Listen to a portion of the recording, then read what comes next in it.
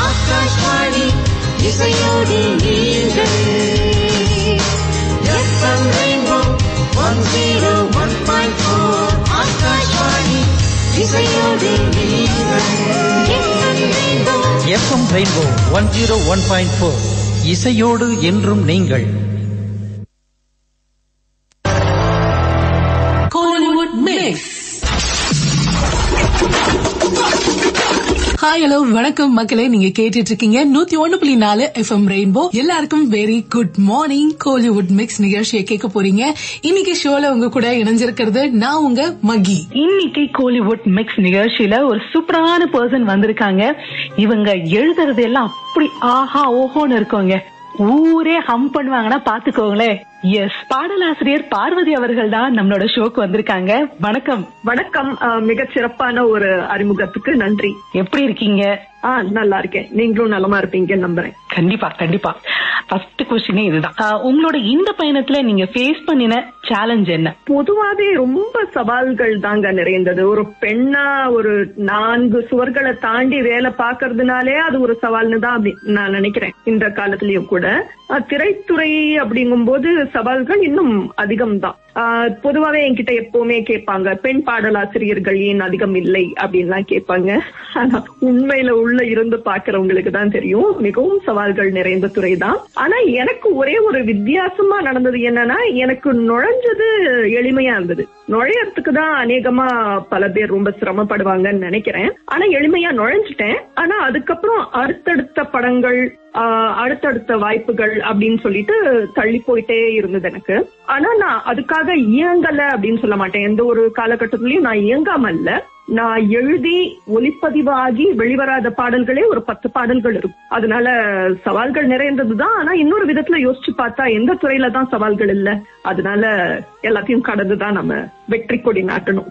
Oh actually ஒவ்வொரு ஃபீல்ட்ல இருக்கவங்களுக்கு தான் அதோட அஹ், சவால் என்ன அப்படிங்கறதும் அவங்க ஃபேஸ் பண்ற ப்ராப்ளம் என்ன அப்படிங்கறதும் தெரிய வரும். சோ நீங்க வந்து தெளிவா சொல்லிருக்கீங்க. எப்படி மேம் ரைட்டிங்ல உங்களுக்கு இன்ட்ரெஸ்ட் வந்துச்சு? அத சொல்லுங்களேன் முதல்ல. பொதுவாவே எனக்கு தமிழ் மேல ஒரு பெரிய ஈர்ப்பு இருந்தது. எனக்கு நினைவு தெரிஞ்ச நாள்ல இருந்து அப்படின்னு சொல்லிட்டு விளம்பரங்கள்லாம் இடையில வரும் இல்லையா? ஒரு தொண்ணூறுகள்ல எல்லாம் அந்த மாதிரி எனக்கு நினைவு தெரிந்த நாள்ல இருந்தே எனக்கு தமிழ் மேல பெரிய ஒரு ஆர்வம். இந்த சின்ன வயசுல எல்லாம் குட்டி பசங்களை எல்லாம் பேச வச்சு பாட வச்சு எல்லாம் ரெக்கார்ட் பண்ணி போட்டு கேட்பாங்க இல்லையா? அந்த மாதிரி நான் ரொம்ப மிகச்சிறிய வயதுல நான் பேசின அந்த ஆடியோ கேசட் எல்லாம் போட்டு கேட்கும்போது பாடல்கள்லாம் பாடும்போதெல்லாம் ராவ அந்த சொல்லுக்கே அந்த எழுத்து எழுத்துக்கே அப்படி வலிக்குமோன்ற அளவுக்கு அவ்வளவு அழுத்தம் திருத்தமா அதுல உச்சரிச்சிருப்பேன். நான் தமிழ் மேல ஏதோ ஒரு இனம் புரியாத ஈர்ப்பு இருந்தது. அதே மாதிரி எனக்கு நல்ல அருமையான ஆசிரியைகளும் வாய்த்தாங்க. தமிழ் ஆசிரியர் நான் பல பேட்டிகள்ல இதுக்கு முன்னாடியும் சொல்லியிருக்கேன். என்னுடைய ஏழாம் வகுப்பு தமிழ் ஆசிரியை சாவித்ரி அப்படின்னு சொல்லிட்டு. அவங்க அந்த ஆர்வத்துக்கு பட்டை தீட்டினாங்க அப்படின்னு சொல்லலாம். அவங்க சிலபஸ தாண்டி அவங்க சில கவிதைகள் எல்லாம் பாரதியார் கவிதைகள் மூமேத்தா அவர்களுடைய கவிதைகளுக்கெல்லாம் ஆஹ், அப்பதான் எனக்கு அறிமுகமாச்சு. அப்படியே நான் எழுத தொடங்கினேன். இன்ன வடிவம் அப்படின்னு சொல்ல முடியாது. கதை கட்டுரை கவிதை அப்படின்னு சொல்ல முடியாது.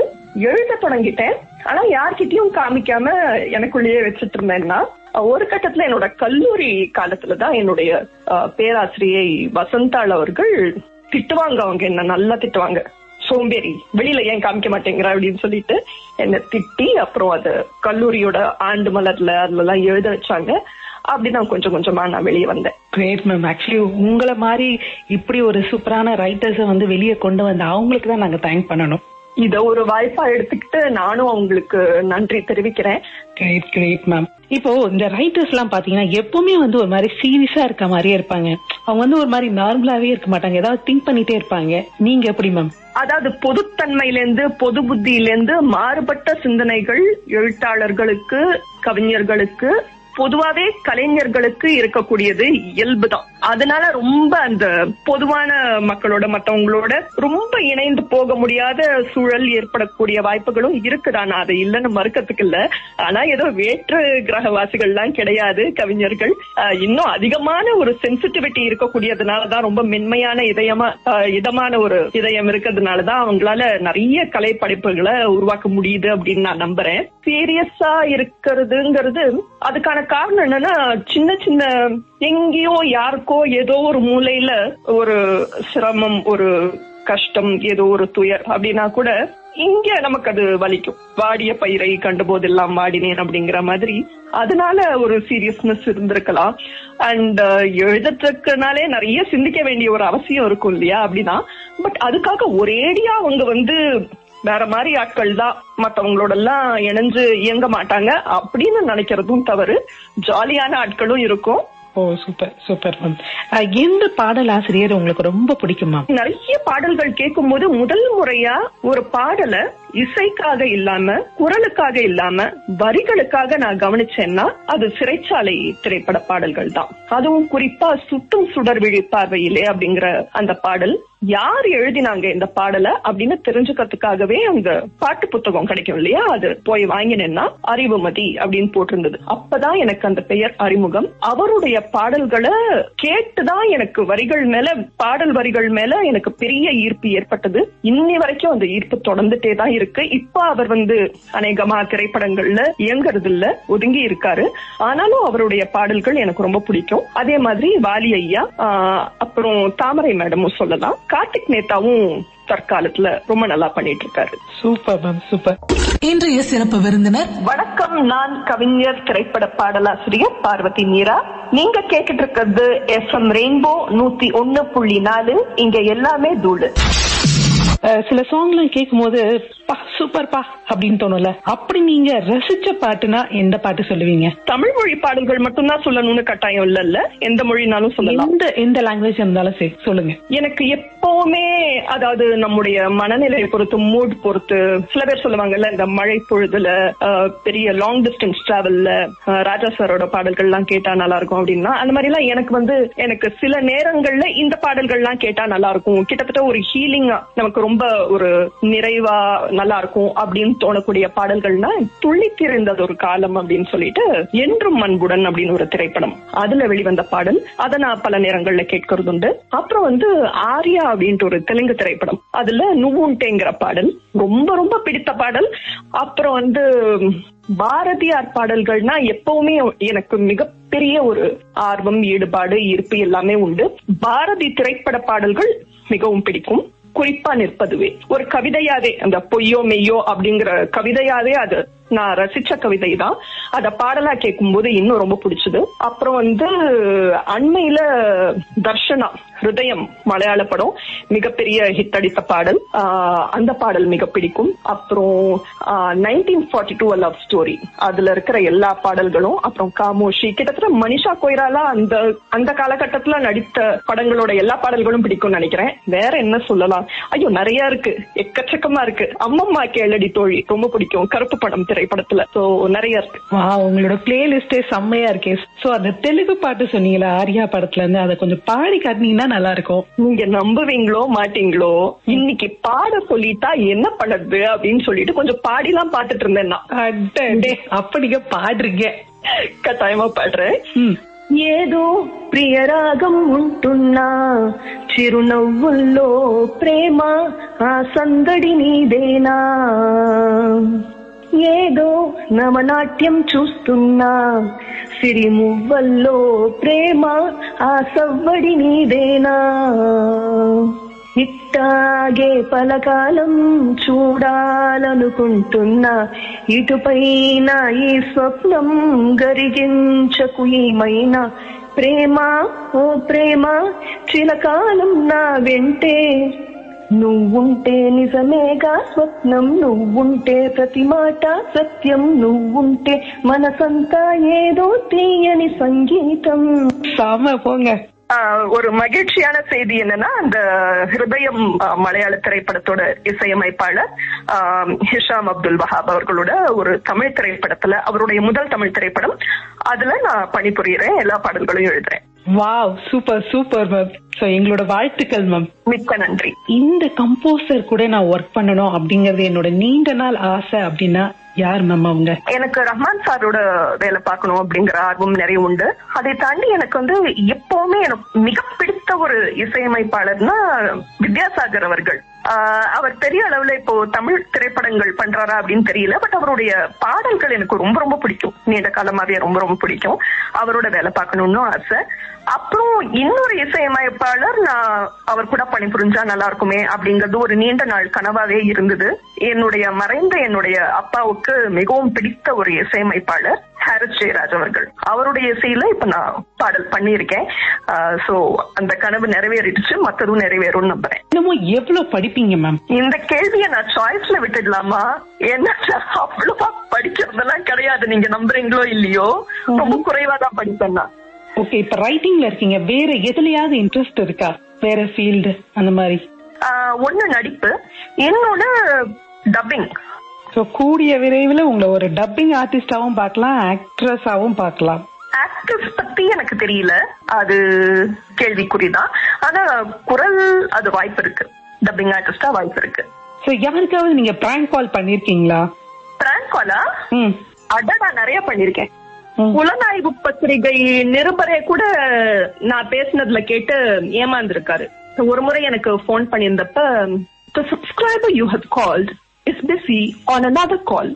Please leave a message after you hear a beep அப்படின்னு சொன்னேன். வச்சுட்டாரு போன அதுக்கப்புறம் மறுபடியும் நான் கூப்பிட்டு ஏங்க போன வச்சீங்கன்னு கேட்டேன். இல்லைங்க வாய்ஸ் மெசேஜ் வைக்க சொல்லி ஏதோ தகவல் வந்தது. ஏங்க நான் தாங்க அதுனா ஒரு கடையவே கிடையாது. நீங்களா இருக்கிறதுக்கான வாய்ப்பே இல்ல அப்படின்னாரு. சரிங்கன்னு சொல்லிட்டு மறுபடியும் அப்படியே பேசி காட்டினேன்னா அவரும் ஒரு மாதிரி மிரண்டுட்டாரு.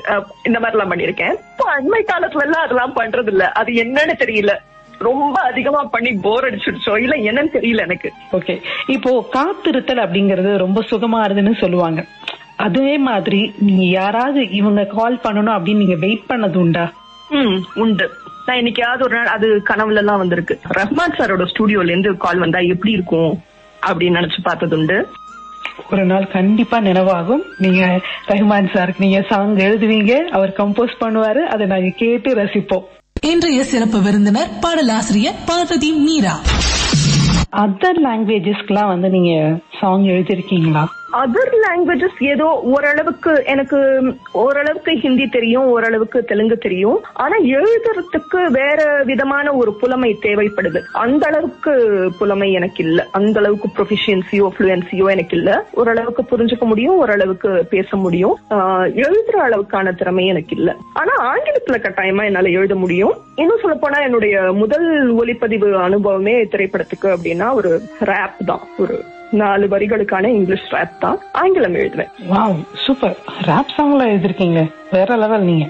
எழுதியிருக்கேன் ஆனா அது நீளம் கருதி வெட்டப்பட்டது. அந்த பாடல்ல இடம்பெறல உங்களை அதிகமா படிக்க தூண்டினது யாரு? எனக்கு இன்னைக்கும் பாரதி தான். பாரதிக்கு அடுத்து மூமேத்தா அவர்களுடைய கவிதைகளை கண்ணீர் பூக்கள் இன்னி வரைக்கும் எனக்கு நினைவு இருக்கு. நான் சொன்னேன் இல்லையா என்னுடைய ஏழாம் வகுப்பு தமிழாசிரியை வகுப்புக்கு வந்து பாடம் பாடத்துக்கு இடையில கவிதைகளை வாசிச்சு காமிப்பாங்கன்னு. அப்படி வாசித்த கவிதை இன்னும் ஒரு கவிதை நல்லா நினைவு சிறப்புடன் ஒரு பேட்டி அப்படின்னு சொல்லிட்டு கண்ணீர் பூக்கள் கவிதை தொகுப்புல இருந்து அதுல வந்து இரண்டு வரிகள். சருகை மிதித்தால் சப்திக்கும் நாங்கள் மலரை மிதிக்கும் போது மௌனம் சாதிக்கிறோம் அப்படின்னு செருப்பு சொல்லுதான். அடடா என்ன ஒரு சிந்தனை அப்படின்ட்டு அந்த வயதிலேயே தோணினது. சோ கவிதைகள் தான் பெரும்பாலும் படிக்கிறது. அதை தாண்டி சில புத்தகங்கள் அப்படின்னா சித்தார்த்தா எனக்கு மிகவும் பிடித்த ஒரு புத்தகம். அப்புறம் வந்து மேன் சர்ச் ஃபார் மீனிங் மிகவும் பிரபலமான ஒரு புத்தகம்.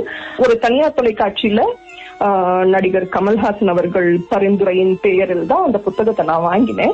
அதுக்கப்புறம் படிக்க ஆரம்பிச்சேன். மிகவும் அருமையான புத்தகம். எல்லாரும் வாழ்க்கையில ஒரே ஒரு புத்தகம் படிக்கணும்னா அந்த புத்தகத்தை படிக்கலாம். கலில் ஜிப்ரானோட த ப்ராஃபிட் பல தடவை நான் பல முறை படிச்சிருக்கேன் நான். மீண்டும் மீண்டும் படித்த ஒரு புத்தகம்னா பாரதியின் கவிதைகளுக்கு அடுத்து த ப்ராஃபிட் தான். சூப்பர் இப்படி நிறைய புக் நீங்க படிச்சிருக்கீங்க. சோ புக்ஸ் ஏதாவது எழுதுற ஐடியா இருக்கா? கவிதை தொகுப்புகள் மட்டும்தான் மூணு வெளியிட்டிருக்கேன்னா எனக்கு கவிதை மட்டும்தான் ரொம்ப இயல்பா எழுத வருது ரொம்ப மெனக்கெட்டு வலிஞ்சு திணிச்சு எதுவும் பண்ணக்கூடாது அப்படின்னு நினைப்பேன். ஆஹ் எனக்கு இயல்பாவே அப்படி கை வருது கவிதைகள் தான். மூன்று தொகுப்புகளை வெளியிட்டிருக்கேன் இது வரைக்கும்.